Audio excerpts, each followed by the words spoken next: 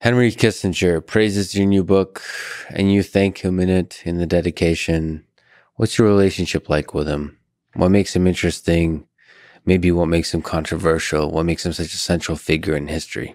First, most importantly, he's unique about seeing things through all the other's eyes. Um, so if you were, it's like there's a chess game. I mean, I think geopolit- geopolitics is like a chess game, but with multiple chess players playing the same game. Yes. So imagine there are six people around Yes. playing the chess game, Uh-huh. and he could sit in each seat and he could know how they see it. Okay. And see it in a calm way of how they see it. He's unique in that way. He's 98 years old and he's equally able to do that. And he has a background that in which he's a historian. So he really understands history super terrifically.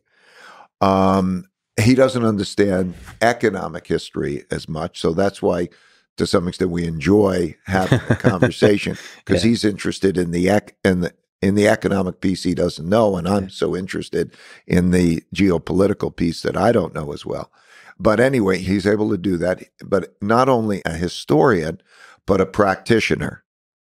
So when you go from an academic to a practitioner who has that talent to see things through others' eyes in an objective way and to be strategic rather than just tactical, uh, that's a very special person. And that's why Henry is, uh, to me, a very special person. Yeah, he's lived a fascinating life. Just all all of the world events he's been involved in is fascinating. And like you said, that's such an interesting skill to have to consider what are the concerns, the hope, the dreams, the fears of the, all the people at the table. What are they thinking? I, I find that people don't, once again, don't do that enough when it's the obvious thing you should be doing, whether it's business deals or um, political negotiation or geopolitical negotiation.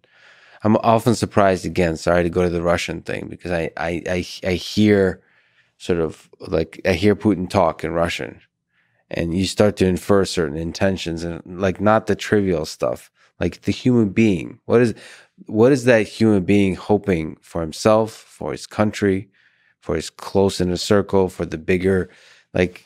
And I, I just see that that's often just lost in translation. I just see like American leaders talking to Putin, and it's just not. It's there's not a connection. Absolutely. I know exactly what you're talking about.